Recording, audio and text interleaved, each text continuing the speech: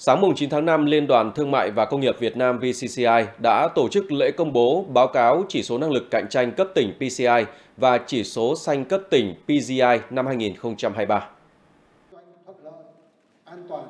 Theo bảng xếp hạng chỉ số PCI năm 2023 với 71,25 điểm, tỉnh Quảng Ninh vẫn tiếp tục giữ vị trí số 1.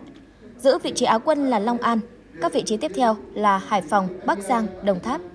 Tỉnh Lào Cai đạt 67,38 điểm, xếp thứ 26 trên 63 tỉnh thành phố, giảm 15 bậc so với năm 2022. Tính riêng ở khu vực Trung Du và miền núi phía Bắc, Lào Cai xếp sau Quảng Ninh, Phú Thọ, Lạng Sơn và Vĩnh Phúc. Năm nay cũng là năm đầu tiên VCCI công bố chỉ số xanh cấp tỉnh. Theo đó, năm tỉnh dẫn đầu là Quảng Ninh, Đà Nẵng, Đồng Nai, Hưng Yên và thành phố Hồ Chí Minh.